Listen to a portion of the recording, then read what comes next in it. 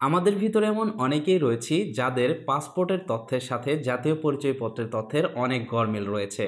এছাড়াও যারা অপ্রাপ্ত বয়স্ক রয়েছেন, তাদের অনেকেরই জন্ম নিবন্ধনের সাথে পাসপোর্টের তথ্যের গরমিল রয়েছে অথবা জেএসসি পিএসসি এসএসসি সার্টিফিকেটের সাথে পাসপোর্টের তথ্য গরমিল রয়েছে।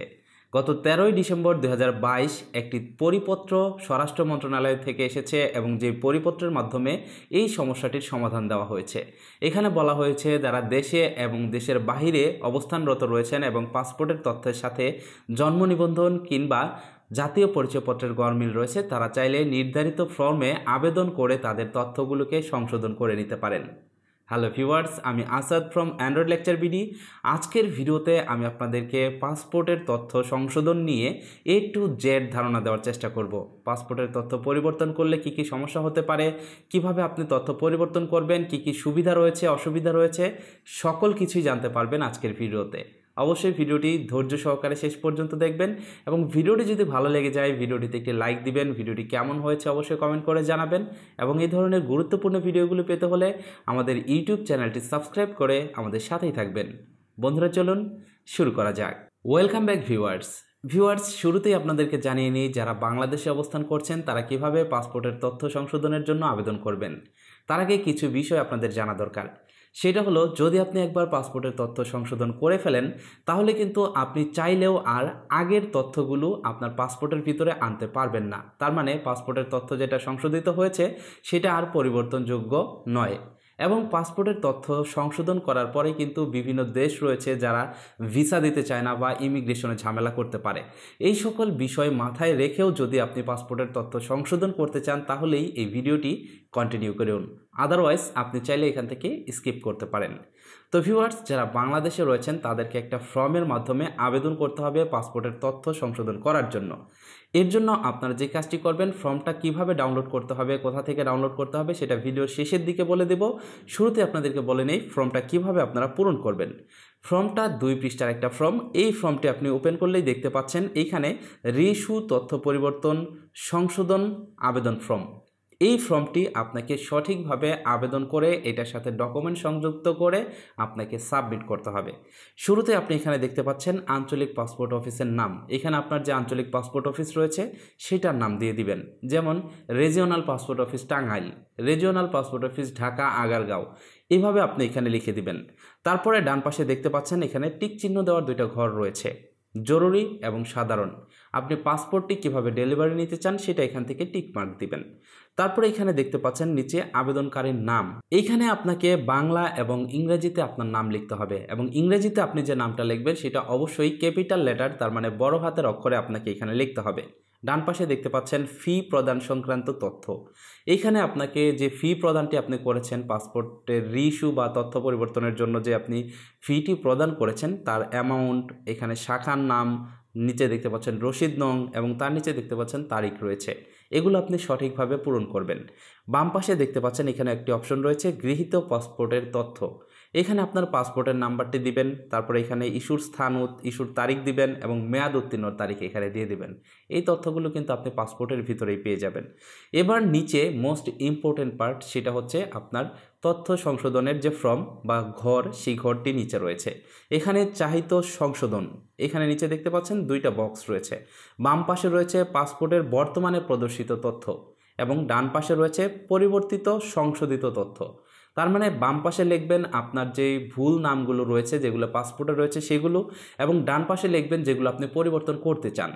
এখানে শুরুতে আপনি চাইলে আপনার নামে যদি কোনো ভুল থাকে তাহলে এখানে আপনার নাম লিখবেন বাম পাশে, যেটা পাসপোর্টে রয়েছে ভুল নাম এবং যেটা আপনি সঠিক মানে পরিবর্তন করতে চান সেটা লিখবেন ডান পাশে। সেম একইভাবে জন্ম তারিখ যদি আপনি সংশোধন করতে চান তাহলে পাসপোর্টের ভিতরে যে তথ্যগুলো রয়েছে বা যে জন্ম তারিখ রয়েছে সেটা দিবেন বাম পাশে এবং যেটা আপনি সংশোধন করতে চান সেটা দিবেন ডান পাশে। এখানে সঠিকভাবে আপনার তথ্যগুলো দেওয়ার পরে নিচে দেখতে পাচ্ছেন ডেট এবং সিগনেচার করার অপশন এখানে ডেট এবং সিগনেচার করে দেবেন। এবার নিচে সেকেন্ড পৃষ্ঠা। এই পৃষ্ঠাতে আপনাকে কিছু সংযুক্তি করতে হবে। সেই সংযুক্তিগুলো এখানে দেখতে পাচ্ছেন এক থেকে দশ পর্যন্ত সিরিয়াল করা রয়েছে। এইখানে একটা বিষয় আপনাকে মাথায় রাখতে হবে। আপনি কোন বিষয়ের উপরে বেস করে আপনার তথ্যগুলো সংশোধন করতে চাচ্ছেন?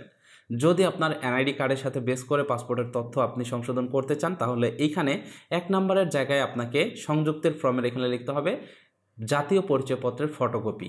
এখানে এটা লিখতে হবে। দুইয়ের জায়গায় আপনি লিখবেন, এরপরে আপনি কোন ডকুমেন্টটি সংযুক্ত করছেন এই অ্যাপ্লিকেশনের সাথে। যেমন আপনার পাসপোর্টের ফটোকপি, আপনার যে বর্তমান পাসপোর্ট রয়েছে, সে বর্তমান পাসপোর্টের ফটোকপি।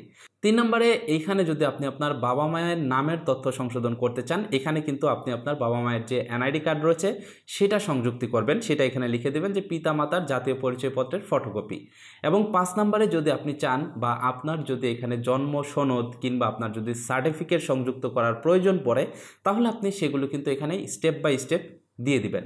যদি আপনি নিজের নাম সংশোধন করতে চান এবং আপনার যদি জাতীয় পরিচয়পত্র থাকে, তাহলে জাতীয় পরিচয়পত্র এখানে সংযোজন করবেন এবং আপনার এসএসসি বা কোনো সার্টিফিকেট থাকলে সেটা এখানে সংযোজন করবেন। যদি আপনি আপনার বাবা মায়ের নামের তথ্য সংশোধন করতে চান, তাহলে এখানে অবশ্যই আপনার সকল ডকুমেন্টের সাথে বাবা মায়ের জাতীয় পরিচয়পত্রের ফটোকপি এখানে এনক্লোজ করতে হবে। এবার এই ফর্মটি পূরণ করা হয়ে গেলে সঠিকভাবে যখন আপনার ফর্মটি পূরণ করা হয়ে যাবে, ফর্মটি সাথে নিয়ে আপনাকে আরেকটা ডকুমেন্ট এখানে অ্যাটাচ করতে হবে, সেটা হলো অঙ্গীকারনামা। অঙ্গীকার নামাটির ডাউনলোড লিঙ্কও আমার ভিডিও ডিসক্রিপশন বক্সে দেওয়া থাকবে। আপনি ঠিক এইভাবে আপনার অঙ্গীকার নামাটি পূরণ করবেন। এখানে আমির পরে আপনার নাম, পিতার নাম, মাতার নাম, এখানে যে তথ্যগুলো চেয়েছে, সেই তথ্যগুলো আপনি এখানে পূরণ করবেন এবং এই যে এখানে কি কি তথ্য পরিবর্তন করতে চান, এই বক্সের ভিতরে সেটা সঠিকভাবে উল্লেখ করবেন এবং নিচে আপনার স্বাক্ষর দিবেন।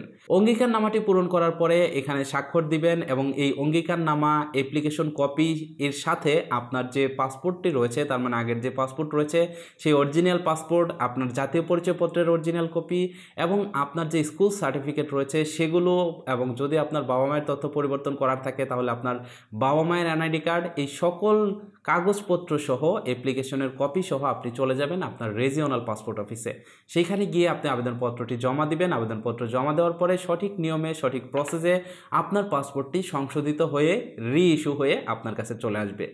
এটা ছিল বাংলাদেশিদের ক্ষেত্রে পাসপোর্টের তথ্য সংশোধন করার নিয়ম।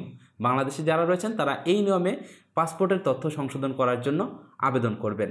এবার চলুন জেনে নেওয়া যাক, যারা দেশের বাহিরে অবস্থানরত রয়েছেন, তারা কীভাবে এই পাসপোর্টের তথ্য সংশোধন করার জন্য আবেদন করবেন। যারা দেশের বাহিরে রয়েছেন, তারা তাদের যে বাংলাদেশি দূতাবাস রয়েছে সেই দেশে, সেই দেশের দূতাবাসে যোগাযোগ করবেন এবং সেখান থেকে বা তাদের ওয়েবসাইট থেকে কিন্তু আপনারা ফর্মগুলো ডাউনলোড করতে পারবেন। এবং এইখানে দেখতে পাচ্ছেন, আমি একটা আপনাদেরকে দেখিয়ে দিচ্ছি, বাংলাদেশ কনসুলেট জেনারেল দুবাই সংযুক্ত আরব আমিরাত। এখানে দেখতে পাচ্ছেন, পাসপোর্টের তথ্য পরিবর্তন, আবেদন দাখিলের নিয়ম। এখানে তারা সুন্দরভাবে কিন্তু এই আবেদন দাখিলের নিয়মটি কিন্তু এখানে দিয়ে দিয়েছে। সেম একইভাবে এখানে তারা অঙ্গীকার নামার ফর্মেটটিও দিয়ে দিয়েছে এবং নিচে দেখতে পাচ্ছেন, তাদের পাসপোর্টের তথ্য সংশোধনের আবেদন ফর্মটিও কিন্তু দিয়ে দিয়েছে। ঠিক এইভাবে সংযুক্ত আরব আমিরাতের মতো যারা দেশের বাহিরে রয়েছেন, বিভিন্ন দেশে যেমন সৌদি আরবে যারা রয়েছেন, তারা সৌদি আরবের দূতাবাসে যাবেন, যারা ফ্রান্সে রয়েছেন, তারা ফ্রান্সের দূতাবাসে যাবেন। সেইখানে গিয়ে কিন্তু আপনি এই ফর্মটি এবং নিয়মগুলো জেনে সঠিকভাবে আপনার পাসপোর্টের তথ্য সংশোধনের জন্য আবেদন করতে পারবেন। এবং নিয়ম মেনে যদি আপনি পাসপোর্টের তথ্য সংশোধনের জন্য আবেদন করেন, তাহলে কিন্তু এখন এই সময়টাতে কিন্তু আপনি খুব সহজেই আপনার পাসপোর্টের তথ্য সংশোধন করে ফেলতে পারবেন। এখন কথা হলো যাদের পাসপোর্টের তথ্যগুলো ভুল রয়েছে, তারা যদি এই সময়টাতে সংশোধন না করেন, পরবর্তীতে কিন্তু এই নিয়মটি চেঞ্জ হয়ে যেতে পারে। সুতরাং এটাই সুযোগ। যাদের পাসপোর্টের তথ্যর সাথে জাতীয় পরিচয়পত্রের অনেক গরমিল রয়েছে, তারা চাইলে এখন ঠিক এই নিয়মগুলো ফলো করে পাসপোর্টের তথ্যগুলো সংশোধন করে আপনার পাসপোর্টটি সংশোধন করে নিতে পারেন। তার কারণ যারা দেশের বাহিরে রয়েছেন বা দেশের বাহিরে যাবেন বলে ভাবছেন, তাদের কাছে কিন্তু পাসপোর্ট খুবই গুরুত্বপূর্ণ একটা জিনিস। এই পাসপোর্টের তথ্যে যদি কোনো গরমিল থাকে, তাহলে কিন্তু রিনিউ করতে গেলে আপনার অনেক ঝামেলা পোহাতে হবে, অথবা দেশের বাইরে যেতে যেতে হলে কিন্তু আপনার অনেক সমস্যার সম্মুখীন হতে হবে।